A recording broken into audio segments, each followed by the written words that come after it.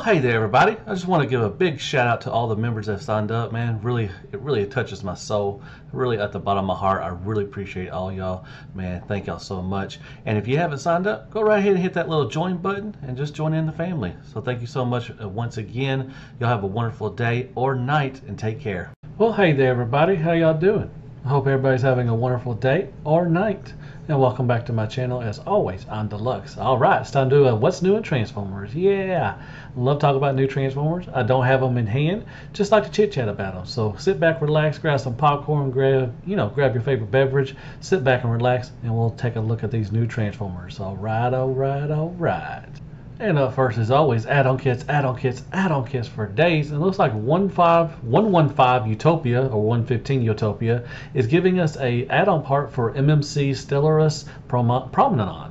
This is their um, Optimus Prime, and it looks like it's just a little filler piece, maybe to give it some stability. I guess they're having issues with the legs.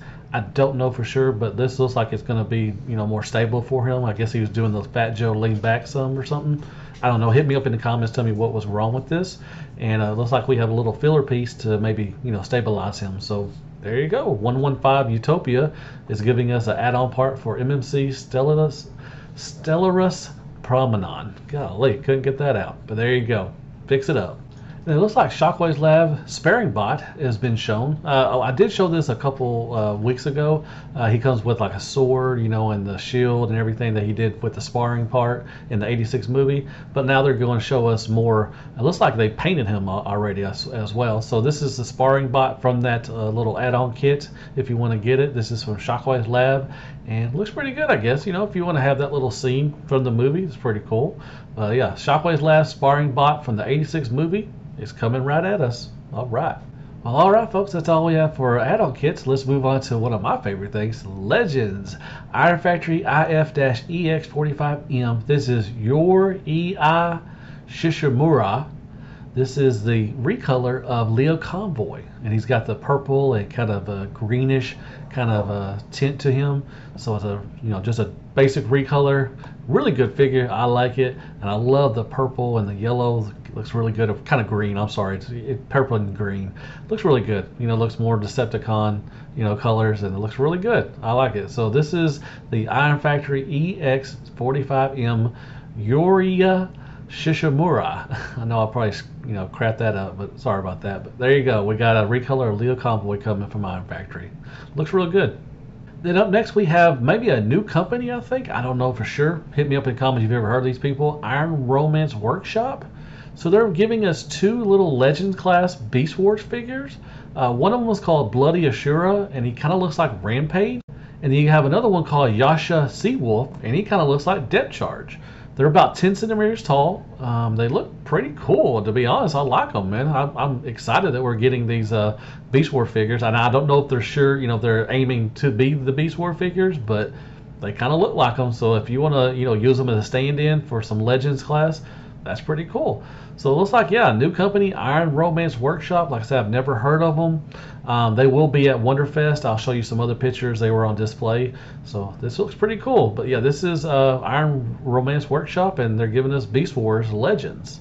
And that's all we have for Legends news. And moving on to MP Scale third party news. Like I said, there was a Wonderfest 2021 this weekend, and we got a lot of stuff to go over. So, like I said, Iron Romance Workshop, I guess they're a new company, but they showed us here's some more prototypes, and they're like their early stages of prototype picks.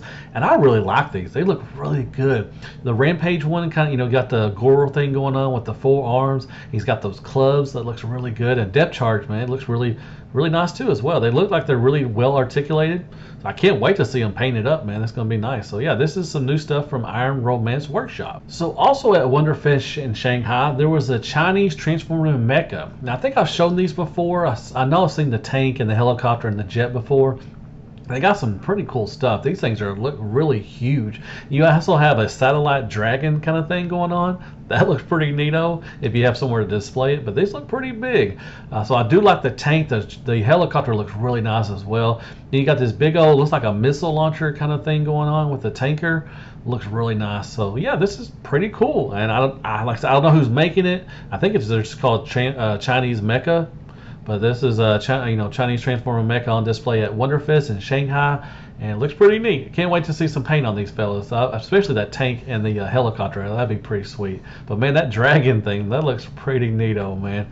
All right, what do y'all think about this stuff? Is anybody in on this? I don't. I've never seen any pre-order or anything like that, but we will see. So there you go, Chinese mecha on display at Wonderfest. And also at Wonderfest was Arch Core, which I've already talked about these. These are like the Viking kind of things, and I think they may have mech suits. These little, you know, human figures that have mech suits and stuff. But man, I love that truck mode. It looks like the Dark of the Moon uh, Megatron. It looks really good. And they have a wolf that transforms into a motorcycle. That looks freaking awesome. I think you get two of them. And I remember uh, last time I showed they do combine into this huge, huge, uh, you know, uh, combiner. Can't wait. I think these are pre-order at Chosen Prime, Agabus. I think some other people have them as well. But man, these look pretty cool. Like I said, it's got that kind of a Viking, uh, you know, mech tech kind of thing going on. Looks good. So this is Arch Core display at Wonderfest, and wow, looks freaking awesome. And I also came across this Metal Slug Super Vehicle SV-001. Is this from like a video game or something? I don't know for sure. Uh, the head sculpt kind of looks like Optimus Prime, but the vehicle mode looks like a you know a stubby little tank. So this might be from a video game or something. I don't know. Like I said, hit me up in the comments. Tell me what this is from. This is Metal Slug Super Vehicle SV-001 and looks pretty cool. Got those 80s working woman's uh, shoulder pads going on. Hmm. Then also on display was maybe Warship. I have no idea who this is as well. I am so sorry. It just doesn't give me a lot of information. But can anybody say Broadside maybe? Wow, it looks pretty cool. Now they did show some really early, early prototypes, and they got some renders and stuff. But yeah, it looks like we got some warships that will transform into robots. And yeah, I mean, if we're not eventually going to get, I hope we get a broadside from somebody.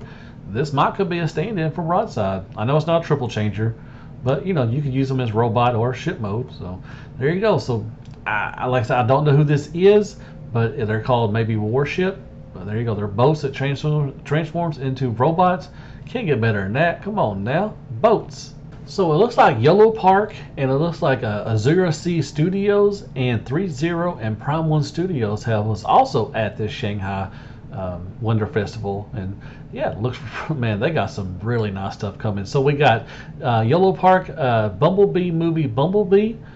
Bumblebee movie Bumblebee Jeebus Cybertronian mode. This is the first reveal of the high quality action figure, which features the uh, IIES, which is internal interconnect endoskeleton, endoskeleton systems. So we got ones of uh, Bumblebee coming. Then we got uh, Optimus Prime as well. We got a full colored sample showing off his opening a chest in Matrix. This looks, you know, oh, looks spectacular as well. You got this Jing Model Place Arcee action figure, which I think this is coming with the cape and stuff with um, Optimus Prime they showed, and this looks kind of weird. Kind of looks like a you know Lord of the Rings kind of thing going on. But you know, it looks all right. You know, it's officially licensed action figure with diecast parts. While the main robot looks like a slightly slightly stylized version of G1 Arcee, it comes with several accessories, armor pieces to give her more of an impressive Chinese fantasy armor look. They also have a show and concept art of Optimus Prime and silhouettes of Megatron and Bumblebee. So this is a new thing coming. It looks pretty cool. Like I said, it's like you know a Chinese fantasy armor look, and they come with capes and stuff. So hey, can't go wrong with that. Then we got the uh, Zura C Studio Shockwave statue. It's a gray prototype shown. Very impressive. Man, so much sculpt work and detail in these things. Wow. And we got a Windblade statue as well. Color sample shown at the exhibit.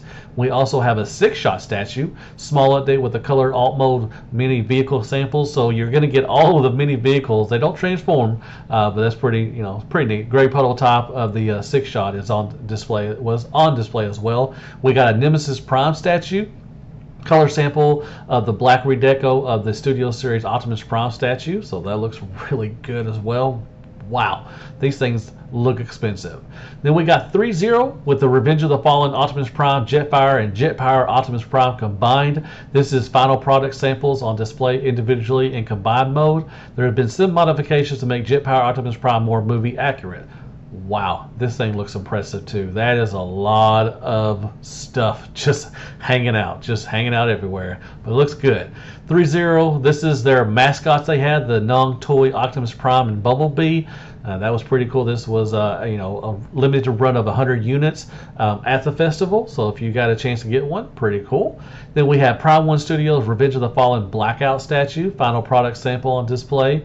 Prime One Studio of Revenge of the Fallen Scorponok statue, the final uh, product sample on display as well, and Studio Dark of the um, I'm sorry, Studio Dark of the Moon Jetwing Optimus Prime statue color sample as well. So yeah, lots and lots of statues. These look that's a whole lot of money. I'm just gonna put it out there. That's a whole lot of money, but they look really good and fantastic. The paint, the sculpt, and detail, man, looks really good. So this was all mainly what was at the Shanghai Wonder Festival Man, I wish I could have gone to one of these things. That'd be pretty cool.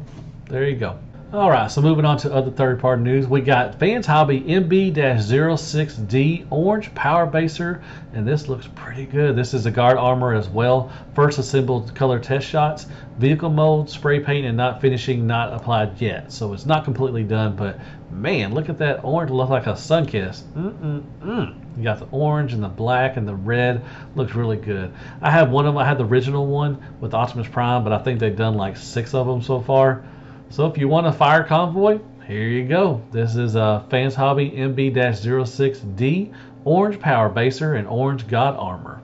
Nice. It's going to be huge. So moving on to Deformation Space is making a Starscream. This came out of nowhere. I had no clue who these people are.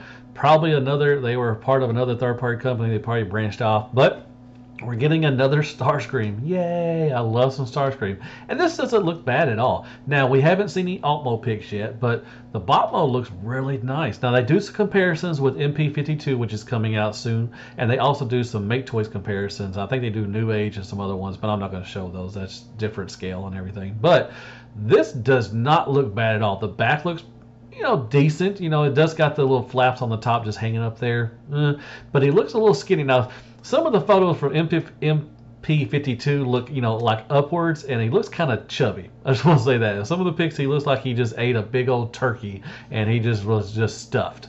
But I like both of them. I think they both look great. I think the color on uh, either one of them, the defor- uh, deformation looks really good, and the MP52. I'm definitely in for MP52. I may get this well. You know, if I don't know how much he's going to be, probably going to be a lot more cheaper. You're probably looking around the 150 to 200 range, give or take. But doesn't look bad at all. So Deformation Space is making a Starscream, and I'm excited. You know, more Starscreams, the more the merrier. You know what I mean? Good stuff. And also from Deformation, they showed us an MP blaster with ram horn. So just early CAD drawings, and you know, CAD drawings, you can make them the best they could look and everything. But you know, it doesn't look bad. Uh, I like the ram horn; he looks really good. Now they do show some comparisons with the KFC because that's the only one we have right now as far as MP scaled. And I mean, you know, that's older. You know, KFC has been, you know, that's at least five years old, I think. So you know, this is probably going to be better than the KFC one. The Ram Horn definitely looks a lot better than what the KFC one does. But, you know, we'll see. I, I like I said, I've never heard of this uh, company. I don't know, you know, if they put anything out before, so really can't judge them. But so far, so good. They're doing two, you know, great characters, Starscream and Blaster. So, you know, if you've been waiting out for another Blaster from either MP or from third party, well, here you go. Deformation has you covered with MP Blaster and Ram Horn then it looks like we may be getting a Optimus Prime Gundam crossover. I don't know for sure. Don't know who the company's making this. Just uh, some early CAD drawings and looks like some pictures, you know, in a, like a magazine or something. But you know, it looks all right. I guess I don't know. I'm not much of. I tried the Gundam thing for a little bit, but I did. I just didn't really catch on with me. Uh, but this, you know, the the waist for him just looks weird. I don't know. But it is a CAD drawing, so you know maybe it'll be a little better later on. But I, you know, Optimus Prime as a Gundam, uh, it may happen. I don't know. So it's like Omega Ray was on. It was on his Weibo. This is one that showed it. So if you want to look him up, you know, maybe you want to find some more pictures of this guy. So it looks like there might be a crossover with Optimus Prime and Gundam. Are y'all excited for this? Hit me up in the comments. Tell me what you think. All right, folks, that's all we have for MP third party news. And we also talked about the Shanghai stuff, which looks pretty cool. So we got to move on to official news. It looks like we have a plot for Transformers 7 and what year it might take in. So it looks like 1992 is going to be the year that this is going to be taking place in. So according to a sheet, the extras for the movie must be prepared to change their appearance, hair, facial hair, and clothing based on the styles from the 1992 uh, 1992, thus indicating the possibility the story of Transformers 7 takes place five years after the events of Bumblebee. So that's pretty cool. So during the principal uh, photography of Transformers Bumblebee movie, the extras were called to change their uh, appearance based on the styles from 1987. So it looks like we're going to move in five years in Transformers 7, which I guess I, I thought we were supposed to get Bumblebee 2, but now Transformers 7 is going to move on. So I guess this is going to be Bumblebee 2. I have no idea. There's supposed to be like three movies coming out for Transformers. Who knows? But there's going to be a plot, and it's going to be taking place in 1992. All right, man. I'm still in high school. Jeebus. All right, we got in-head images. That's what we all love. Grindor and Ravage. We got some new picks. So it looks like it's a redeco and slight remote of the Studio Series Leader Class Blackout. Now featuring some extra rusty battle damage and tampographs. Wow. Blackout has some now articulated hands with double hinge with fingers and wrist swivel and a new Ravage figurine. I think they meant uh, Grindor, not a blackout. But anyways, the extra rusty helps to notice some sculpting and details that are not noticeable in blackout. Of course, there's a side-by-side comparison pic of the two figures. So anybody getting this guy? I know I am. He looks pretty neat. So I love, love some extra rusty, mm, some sculpt work. Gotta be good. So there you go. Leader class Grindor and Ravage in-hand images. Then up next we have in-hand images of Waspinator, Deluxe Class Kingdom. All right. Waspinator is getting a completely new mold in Kingdom, showing off more realist, realistic Wasp mode and with the modern robot mode. Waspinator takes some modifications compared to the cartoon designs, but is really an unlucky Predacon warrior as always. He gets he just blows up all the time. Of course, there's a comparison with previous generation Takara Legends Deluxe Waspinator, that was the Thrilling 30, and comparison shots next to other Kingdom figures and Predacons. So what do y'all think? Which one looks better? I've seen a lot of uh, stuff on Facebook that they're leaning more towards the Thrilling 30 one. So we'll see. I think they both look fine. And, I'm definitely getting this guy. Check him out. So there you go. New in-him images of Deluxe Deluxe Waspinator from Kingdom. Golly, I just can't get stuff out tonight. And guess what, folks? We got another sneak peek at a statue. This is Premium Collectible Studio G1 Grimlock. The only thing we get is just his face going rare. So this image let us know that a favorite Dinobot leader is in dinosaur mode with a menacing opening mouth. So that's all you get to see. So maybe we'll see some uh, another pics later on down the line. So it looks pretty good. Once again, looks expensive. There you go, Grimlock. And speaking of Netflix and Kingdom, July 29th is when we're going to get to see Kingdom. All right, is everybody excited? I am. I can't wait to finish it off. The other two were fine, you know, but I'm hoping this one will kind of redeem it. And I really uh, was on Rodimus Primal's uh, channel last night. We was talking about this. Six episodes is really not enough. You know, I don't think we're going to get really a big backstory from the, you know, the Predacons and the Maximals, and that really sucks because I would love to see some, uh, some updated, you know, stuff on them. But we'll see. But you know, get your uh, TV TiVo ready. Get everything you want to record with. And July 29th, Netflix Transformers War for Cybertron Kingdom is coming our way and more in-hand images from Kingdom Earth Mode Sideswipe. Yeah, so Kingdom finally brings us Earth Mode Sideswipe and basically a retool of the Siege Sideswipe mode with several new parts and a clean deco with no battle damage. We got comparison shots next to the original Siege mode for all the differences. Uh, our Sideswipe will be packed with Maximal Skywarp and the Amazon exclusive Battle Across Time Collective Deluxe WFC K42 2 pack. So there you go. They've already done a review on this fella, and he's not even out. So that's awesome. So there you go. That is new stuff from Kingdom Earth Mode Sideswipe in-head images. Oh, I forgot. I want to show this awesome custom Iron Fist. This is from Nitrus14 on Twitter. You want to go follow him, it's Nitrus, N-I-T-R-U-S 14. And this looks awesome. So they took the Siege uh, Hound and they made a custom Iron Fist. And it looks really good. New head sculpt. Definitely uh, love the paint job and the light blue and yellow. Looks really nice with the gray. So awesome job. Whoever this guy is, Nitrus14, you did a great job. Like I said, he's on Twitter. Go follow him. This looks really nice. So this is custom Iron Fist. Well, all right, folks, that's all we have for news this week. And a lot of good stuff, man. Some great stuff from Shanghai Wonderfest. Man, we got some just awesome, awesome stuff coming out as always. Transformers, man. It's great to be a collector. I love it. Legends. Mm, we got new Shockwave stuff coming. I know we didn't talk about it, but I've already shown them so many times. I just didn't want to, you know, show it again. But man, we got a bunch of Legend stuff.